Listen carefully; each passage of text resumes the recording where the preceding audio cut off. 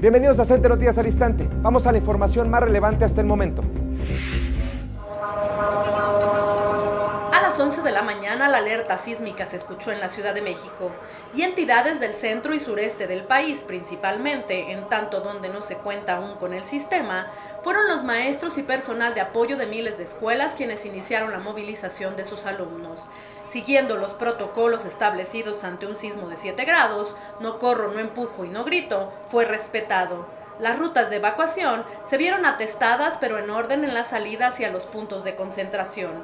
Minutos más tarde, el macro simulacro se dio por terminado con la exitosa participación del magisterio mexicano, comprometido en la salvaguarda de millones de alumnos desde nivel inicial hasta educación superior. El secretario general del CENTE, maestro Alfonso Cepeda Salas, destacó que los docentes y personal de apoyo del Sistema Educativo Nacional son pilares en el fomento de esta nueva cultura de protección civil.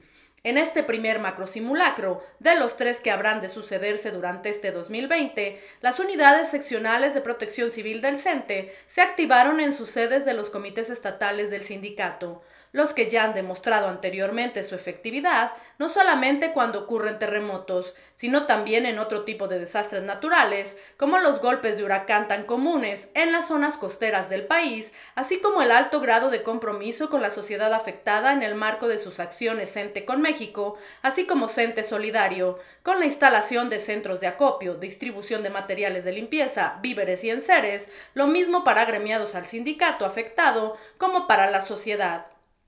Los pasados terremotos del 7 y 19 de septiembre del 2017 pusieron a prueba a México y a la comunidad internacional. La alerta sísmica cesó y el macro simulacro resultó un éxito en la ruta de la nueva cultura de protección civil en el país. Claudia de la Llave, Cente Noticias. Esta es la información hasta el momento. Soy Rodrigo Maínez, esto fue Cente Noticias al Instante y justo aquí. Y ahora está usted informado.